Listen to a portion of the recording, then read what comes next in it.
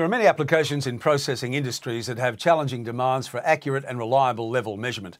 Hi, I'm Tim Webster and welcome.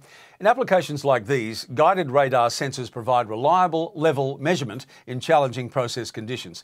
In this series of videos, Vega engineers Stefan Kaspar and Matthias Schmidt demonstrate how Vegaflex Series 80 guided radar sensors solve these difficult applications. Now, the sensors are virtually immune to the effects of foam, condensate and solids buildup and can be used with coaxial probes to measure media with poor reflective properties and to measure reliably in vessels with internal obstructions such as coils and paddles.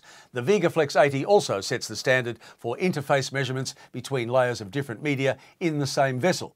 Now you can find out more about Vegaflex guided radar sensors from vega.com or give them a call. Vega on 02 9542 662. But now over to you, Stefan and Matthias.